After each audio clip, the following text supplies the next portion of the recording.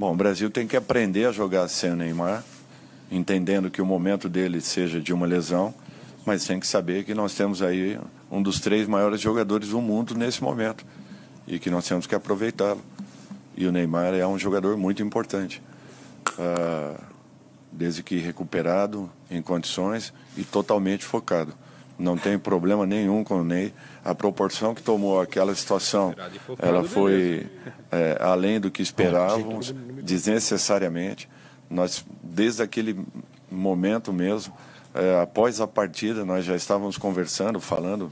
A diretoria do Santos tomou uma po posição, eu respeitei apenas isso.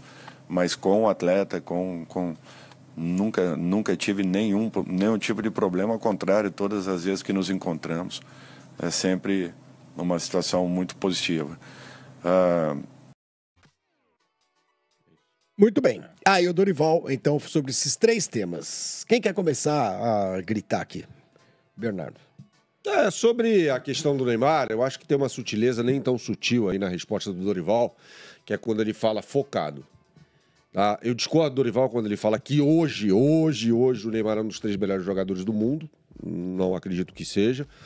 E eu questiono o foco. Eu acho que o Neymar, bem, ele tem que ser convocado. Bem, bem. Para isso, vai ter que voltar a jogar no Al Hilal. Quando ele voltar, haverá ainda um ano de contrato. E acho que bem, ele fará bem a seleção brasileira.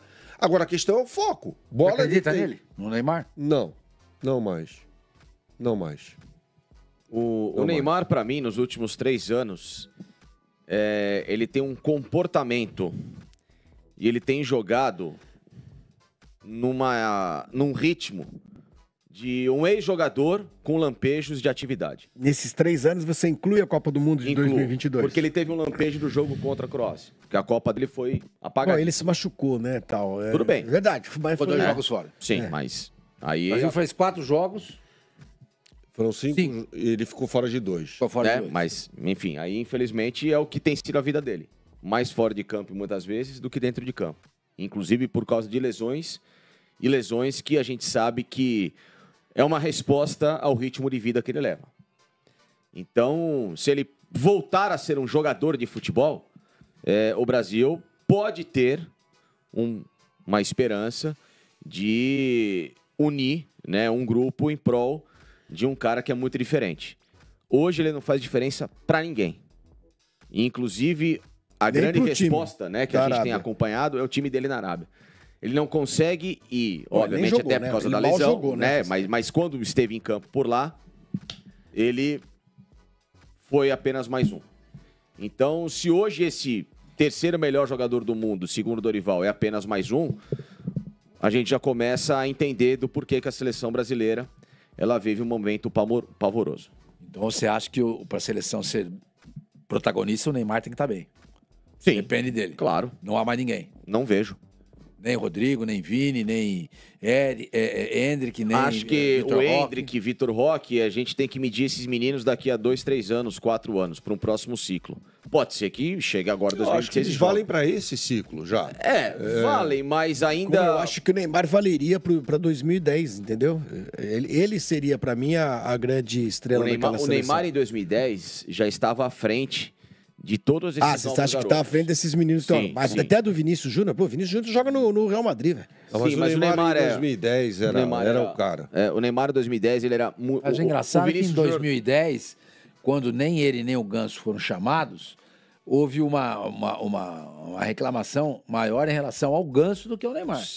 Tanto que o Ganso vai para a lista de suplentes, né? Também, mas assim, é, mas o, o Neymar, quando surge, ele, ele surge numa prateleira muito acima. Prateleira é duro, hein? E, e outra coisa. É igual o- falar fute, futebol. Futebol. Prateleira, pô. Prateleira é duro, Não, né? enfim, mas eu só tô dizendo que é, não dá nem pra comparar, não dá pra colocar na mesma régua é, talento e tudo o Vinícius Júnior e Neymar. Não dá.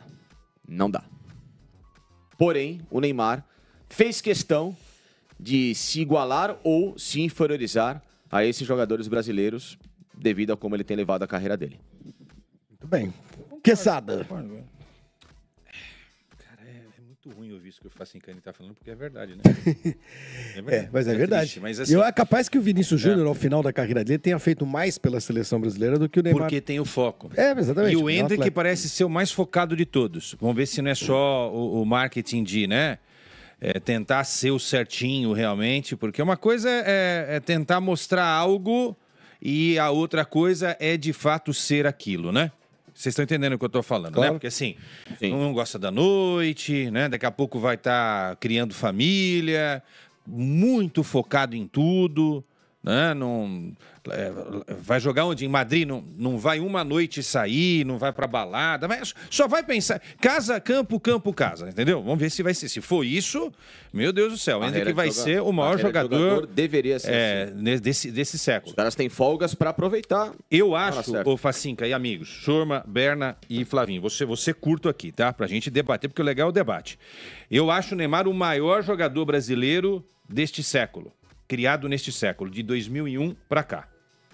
O século começou em 2001, certo? Isso. É. Então é isso. É, mas é que eu, eu acho que O assim, Kaká começou aí depois disso, eh, também nesse século. O Robinho também. Aí você pode forçar a barra num monte de gente. Ronaldinho aí. Gaúcho também. É o Ronaldinho antes, 99. Eu tô deixando pro século passado. Eu tô falando tá. que começou nesse, nesse Tá século. revelado nesse E na século. realidade ele começou nesse século já no final da, da, da primeira década. É, o, né? o Kaká começa em 2001. Eu, eu, eu acho Ele, que o pra Kaká mim, é o- fez mais carreira que, que o Neymar. Não, a- né? a E- carreira- o- Não, ele não tá coisa. falando carreira, tá falando em O- o- qualidade de O, jogo. Talento, o Kaká é. Campeão do mundo e melhor jogador do mundo. Isso ninguém tira do Kaká. Eu sou fã do Kaká, tá? Sim, eu também. Eu adoro o Kaká. Mas tô dizendo de, de qualidade.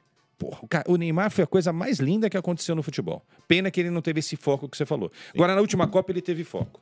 Eu acompanhei o, o- o Neymar nas três, nas três. Nesse ele estava focado. Mas isso é uma coisa que a gente falou na, na época, Facincani, que o Neymar realmente nessa Copa do Mundo, até pela recuperação dele, coitado, que, pô, os caras se machucou no, Durante a Copa. pô. É, Ele e estava voltou. focado. E contra a Croácia, ele foi um jogador que teve uma postura de, de, de Tudo liderança bem que e essa contusão pode, pode ter, a gente não, não É, tem mas não dá pra saber. Pode ter a ver com aquilo É, que eu faço. é. Então, se ele se preparasse mais, né? Talvez Eu não se acho, machucasse eu não tanto. sei, Concordo, não sei, eu não sei. concordo 200% com o Fac- com o Facincani. O, o problema das lesões do, do Neymar, eu acho que passa muito pela vida desregrada dele. Pelo estilo de vida. Pelo estilo Mas de vida as dele. musculares, né, Surma? Porque assim, o cara sofreu uma. O Suniga, por exemplo, aí não é muscular, pô. Aí o Suniga vem e dá levou uma joelhada. dá Não, não, dá uma não, tudo bem. joelhada aqui Tudo no bem, mas o É, problema não é que se a gente for fazer um raio-x das contusões do Neymar, há muitas lesões musculares. Muitas Essa entorses. última, claro, foi uma entorse de joelho. Eu não, não- não sei diagnosticar isso, mas eu acho, uma vez conversando com o Dr. Grava, ele falou isso. Se você, o, se vo- você dá uma resistência maior à, su- à sua, à, sua musculatura, ao seu corpo de uma maneira geral, Tá. se você o trata bem. Entendeu? Então, de repente, uma torção de joelho Ou de tornozelo. ou de tornozelo, talvez não acontecesse, até porque ele- a, a torção de joelho dele foi no, no- no- no- no- em Montevidéu, né? Foi. Sim. O gramado era ótimo. Foi uma infelicidade? Foi. Mas talvez se a musculatura dele tivesse protegendo melhor ali a cartilagem, o joelho, o menisco, eh, os ligamentos, talvez não tivesse acontecido. É só você ver o Cristiano e o Messi nunca tiveram esse É, tipo de exato, lesão grave. Exato, eles nunca tiveram. Nos dá o E direito os- de é, pensar de- isso, claro. São os caras que competem com ele nesse nível de comparação. Não, Mas ele que nós temos um- competir com esses caras é, e não, não eu digo assim, né? é, é, Nós temos o um é- superchat aqui legal que eu queria ler depois, hein? É que se fala Vocês- muito. ah, o- qual, é, qual é a ambição do Neymar? É ele ser igual ao De Bruyne? Não. É, é talvez ele ser, sei lá, igual. Não sei, um Modric? Não, não é. Esses caras são ótimos, maravilhosos, são. Não, a ambição do Neymar é ser Cristiano Ronaldo ou O, Messi. o- o Neymar foi tratado para ser Neymar Melhor do mundo. Cristiano. Então você tem que colocá-lo nessa prateleira de inspiração. Se você coloca ele perto desses caras e vê como esses caras se prepararam fisicamente, moralmente, tecnicamente, como jogador e o Neymar, Ele não fez é, isso. é um planeta de diferença. Ele não fez isso. E esses caras nunca tiveram esse tipo de lesão. Então, Depois do superchat, eu tenho uma tese. Vocês vocês sabem que eu gosto de tese e algumas dão certo. O Neymar não vai voltar agora para a seleção. Não. Sequer a Copa América. Cara, eu acho que ele não volta esse ano pra mim. É. Porque ele vai voltar a jogar quando? A gente voltaria nas eliminatórias, né? Em Eliminatórias setembro. em Ah, esse setembro. É. Será? Não, joga, Tá. joga. Mas eu acho que Copa América é mais complicado. Então eu vou criar um cenário. A seleção tem amistosos aí. Espanha, Inglaterra, março, e depois México. México, já em território Copa americano, América, né? para a Copa América. Aí só volta a jogar em setembro. Ah, vai ter mais um jogo. Vai tá? ter um amistoso Vai antes ter- da Copa América. Vai ter então dois, né? México e mais um. Digamos que, que o, que o Dorival consiga acertar o time. Tá? O Brasil vai lá, se não ganhar a Copa América, mas chega uma final, se ganhar a Copa América, é o, é o melhor cenário de todos. Como é que o Neymar vai se inserir nesse contexto? Pô, ele vai entrar numa seleção que está acertada sem a presença dele. Eu acho que isso pode ser um divisor de águas na relação Neymar e seleção. Ou o Neymar entra nesse contexto aí que o senhor está falando, vou levar a sério, uma chamada, vou né? me preparar É. bem.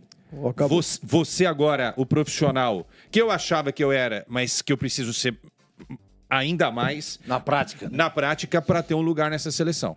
Vocês podem escrever isso, gente. Eu vi, eu vi acontecer um negócio com. Nós vimos. Aconteceu um negócio com o Romário que era inimaginável. O Romário ficar fora de uma Copa do Mundo em 2002, opção, né? quando o Brasil precisava muito dele. Simplesmente os caras fecharam. Não precisamos do Romário e vamos sem o Romário. E não tinha o Ronaldo ainda. Então o Neymar precisa contextualizar isso, porque na história da seleção o Romário é muito maior do que o Neymar, né? Isso daí também vamos, né? O cara ganhou uma Copa do Mundo. Então o Neymar, acho que vai se coçar se acontecer isso. Agora o Brasil precisa responder em campo. Porque se o Brasil tomar pau nos amistosos e na Copa América, Vai viver sob a sombra vai do lembrar em agosto. Eu- eu acho que E a assim- gente vai voltar a tocar nesse tempo. É, tá e- vendo? Não dá pra viver sem o Neymar mesmo.